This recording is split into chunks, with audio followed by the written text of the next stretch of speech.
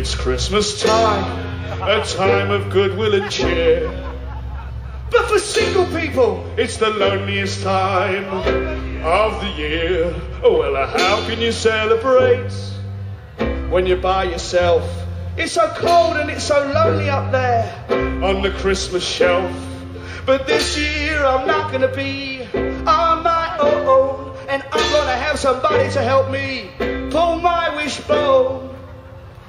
And there'll be plenty of food on my electric cooker. Cause this year I'm treating myself to a high class hooker. Because a prostitute for Christmas, it's the perfect gift for me. When I wake up in the morning, she'll be underneath the tree. I left the beer and some mince pies out for Santa Claus. Please return the favour by giving me one of your whores. I want no other presents in my Christmas stocking. I want a sexy lady that I can stick my cock in. We'll be doing all sorts underneath the mistletoe. Thank you for my lovely Christmas. Ho, ho, ho. There she comes with all her paperwork to say she's had her test. And for that Christmas atmosphere, she smells of foreign cess. She's got a lovely body, tits are nice and perky. She tastes like cranberry sauce with a little hint of turkey. She smells of me and asks me to take her. Then I remove all of her wrapping paper. One minute later, I withdraw from within her. Then we go and eat our Christmas dinner. I cannot take my eyes off her. She is beautiful. We sit down, we drink some wine, and she gives my cracker a pull.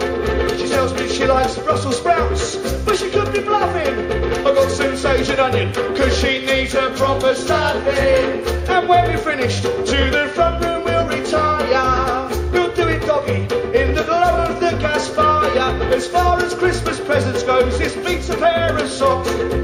What a lovely selection box.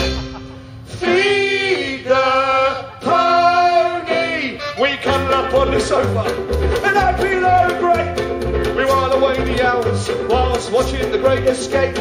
She puts her arm around me, and I feel complete.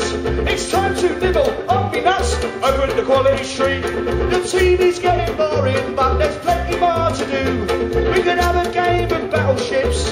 She wants buckaroo.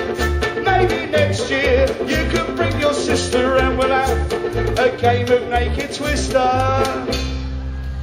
She's opened up the after eights because it's nearly nine. Oh. And pretty soon she'll have to leave because she's on triple time. It's Christmas, isn't it? It's sad to see her leaving and my tears they start to fill. She puts her clothes back on as we settle up the bill.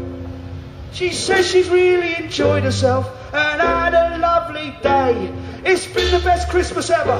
So put your cash away. I can tell you are a gentleman and your heart is true. And at Christmas prostitutes get lonely too. Yes, at Christmas prostitutes get lonely too.